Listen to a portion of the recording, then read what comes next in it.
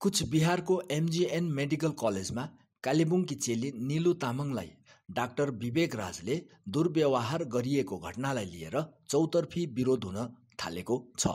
KTV समाचारका सरप्राइजर DPMI Siliguri India's leading paramedical institute. Capital university Jorethang south Sikkim admission open for the session two thousand twenty four twenty five.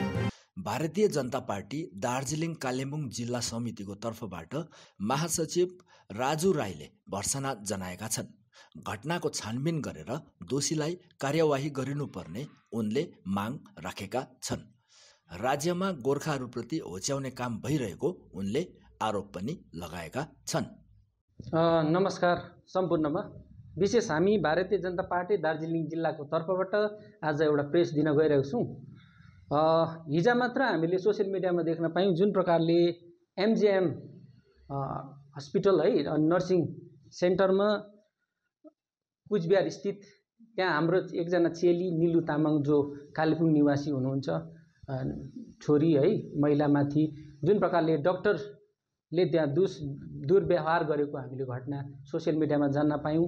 यसको हामी घोरभन्दा घोर मात्रामा भारतीय Janata party विरोध गर्दछौँ अनि भर्साना जनाउँदछौँ। जुन प्रकारले आज बङ्गालको विभिन्न क्षेत्रहरूमा हाम्रा महिलाहरूमाथि हाम्रा भाइ बहिनीहरूमाथि यस्ता दुर्व्यवहार गरेको हामी देखिरहेको छौँ। विगत केही महिना अगाडि मात्रै केही महिना अगाडि हाम्रा सिलगढीमा एउटा छोरीमाथि एउटा महिलामाथि दुर्व्यवहार गरियो। त्यो पनि आलै छ। साथसाथै आज हामीले यसरी देख्दछौँ विभिन्न राज्यको विभिन्न ठाउँहरूमा हाम्रो चेलीहरूमाथि यस्ता घटनाहरू घटिरहेको छ। हामी भारतीय जनता पार्टी पूर्ण रूपमा यसमा सचेत छौँ यसमा जानकारीमा छौँ अनि हामी पीडितप्रति हामी काहीँ न काहीँ हामी एकदमै सद्भावना राख्दछौँ र यस यस प्रकारको घटनाहरू चाँडैभन्दा चाँडै दोषी पाएमा यसको जाँच गरेर दोषी पाएमा यसलाई सजाय दिनुपर्छ भन्ने हामी यहाँबाट आह्वान पनि गर्दछौँ।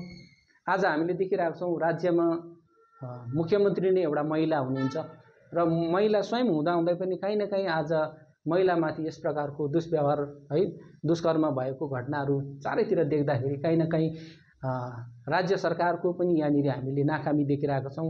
यस प्रकारको घटनाहरू फेरि पनि नदिरोस् भनेर हामी यहाँबाट आह्वान पनि गर्दछौँ।